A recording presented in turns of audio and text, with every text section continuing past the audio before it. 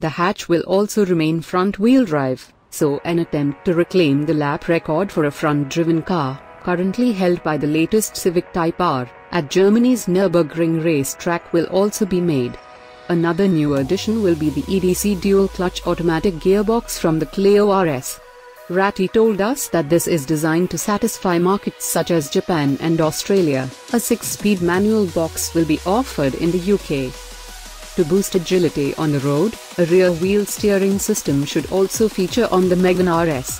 A similar setup already exists on the Megane GT, currently the hottest model in the range, and is designed to boost mobility at low speed and stability at high speed.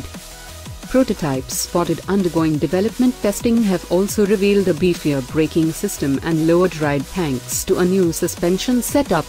Adjustable dampers should appear, too.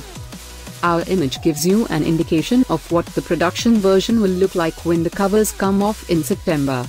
Stripped out Trophy and Trophy R models will follow.